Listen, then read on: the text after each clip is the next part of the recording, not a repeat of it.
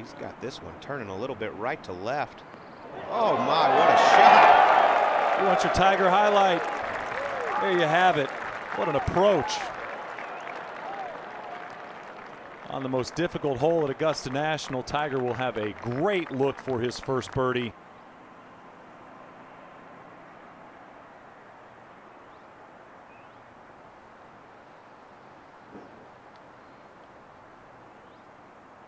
Oh, do it. No way.